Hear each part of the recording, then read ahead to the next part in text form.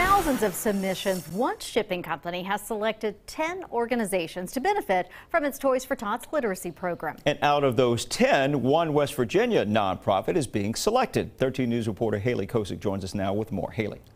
Jennifer and Pat, since 1986, Read Aloud West Virginia making its mission to stimulate student interest in books and reading through the help of its volunteers statewide. One volunteer applied on a whim, and to everyone's surprise, many new books to come their way.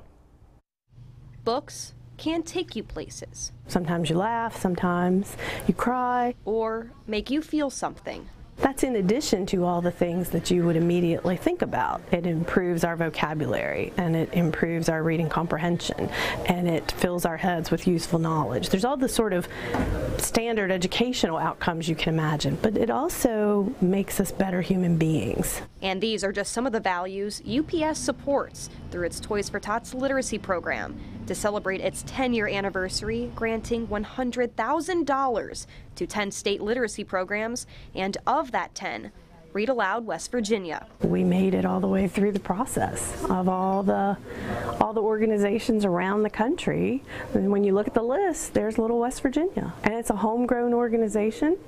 And um, I think West Virginians should be really proud of that.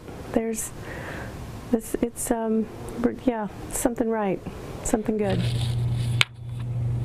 The money is to buy brand new books that will be distributed throughout the state for students and Read Aloud volunteers. We are um, on the mission to create a state of readers because reading is the foundation for all other types of literacy and we just really want people to enjoy reading as much as we do.